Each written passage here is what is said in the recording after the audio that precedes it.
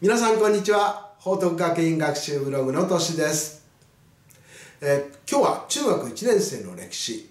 戦国時代の有名な武将織田信長についてお話します。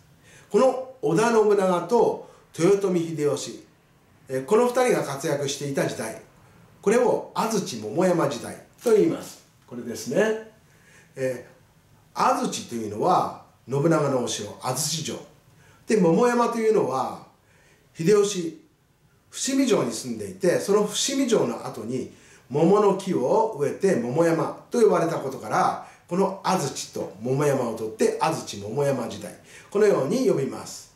この織田信長を有名にした最初の戦い。それは桶狭間の戦いでした、えー、1560年駿河の今川義元。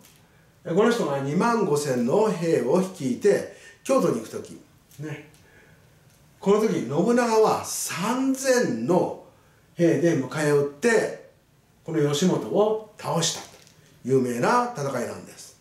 この人数に関しては今川が1万で信長の方は2,000だったという説もあるんですけれどここでは人数の多い方を書いておきましたと、ね、8倍以上の人数で勝ったとで有名になったんですね。どのようにして勝ったかというと今川軍がこの桶狭間の少し北側にある田楽狭間というところで休憩をしていました。でその休憩をしている時激しい雨が降り出してその激しい雨の音に紛れて信長の軍は兵を今川側に進めたんですね。そして雨が上がるとすぐに今川軍に奇襲をかけます。で奇襲をかけた時もとにかく義元だけを狙って奇襲をかけたんですね。このようにして信長は今川を倒したと。こういうことです。で1568年今日に入って足利義昭を将軍にします。しかしこの足利義昭信長に不満を持ってえ、信長を追い落とそうとするんですよね。これを知った信長は1573年義明を京から追放して室町幕府を滅ぼしてしまいました、この後信長はたくさんの戦をするんですけれど全部で自分の部下の戦も入れると155回戦っていたそうです。でなんと勝率は8割と言いますからとても強い武将だったことが分かりますよね。その信長の最も有名な戦い。それが長篠の戦いです。これは1575年鉄砲を使った戦法で武田氏を破った。こういう戦いです、ね。えー、武田というのは騎馬隊といって馬に乗って戦う兵隊でした、ね、そういうのがものでした。この6000騎の武田軍に対して馬防柵。馬を防ぐ柵を作って三重に巡らしてその柵の中から鉄砲を撃つ。という戦法で信長は戦いました。ただ武田勝頼も鉄砲があることは知っていました。でも鉄砲は使わなかったんですね。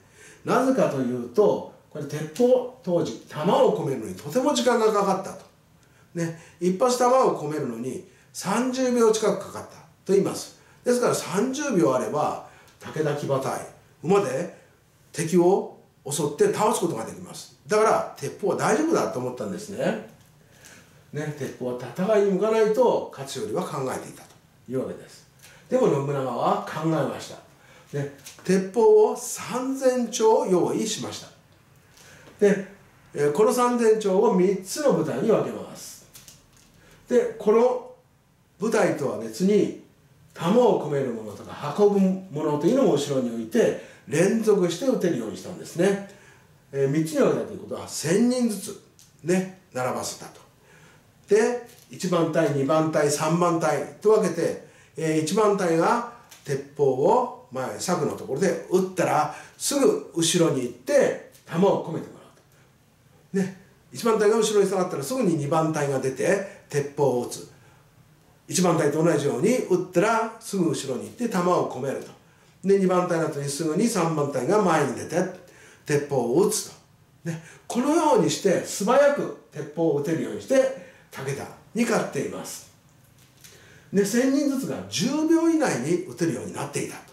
言いますから、ね、騎馬隊が攻めてこようとしたら撃ってくると。